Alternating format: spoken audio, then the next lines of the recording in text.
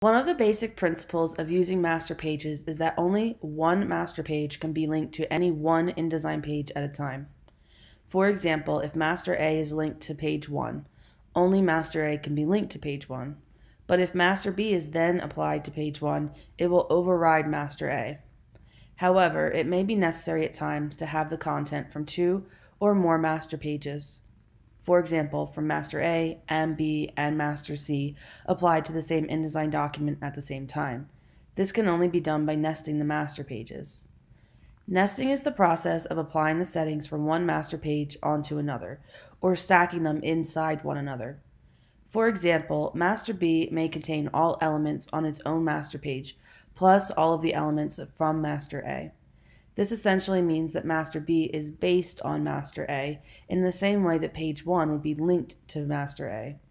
When master B is then applied to page 1 of your actual document pages, it applies both master A and master B because master B contains all the elements from master A. Now I know that that's a lot of words and it's a little difficult to understand, so let's go through that using a specific example. This is an easier to understand. This is easier to understand with an example.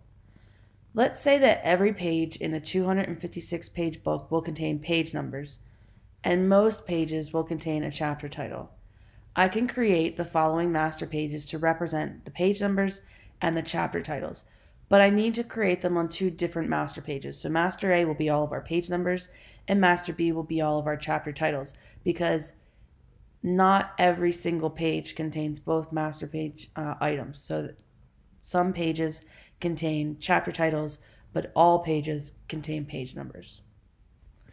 At this point, if master B is applied to page 1, it will contain chapter titles, but not page numbers, which is a problem because I want page numbers on all pages plus chapter titles on some pages.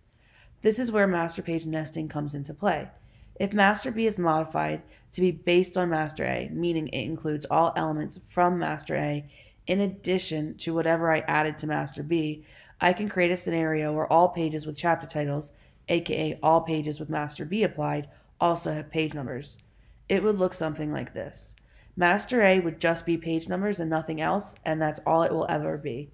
But Master B, I am going to apply Master A to Master B so that the page numbers now repeat on Master B, and then add my chapter titles to the Master B master page. Nesting master pages allows for the streamlining of efficiency and consistency, which is a major benefit of using master pages, while also allowing for the complexity of exceptions. Not everything is going to be simple and easy, but by using master page nesting, we can create variety in how repetition is applied to a design while still allowing easy editing of the design in the future if something changes. For example, if the typeface or position of my pages page numbers must change, I can edit the settings on master A, which is where the page numbers are housed, and the updates will automatically flow onto any page in my document that has master A applied. In addition, the change will also flow onto master B since master B is based on master A, and then in return, the change will now appear on any page in my document that also has master B applied.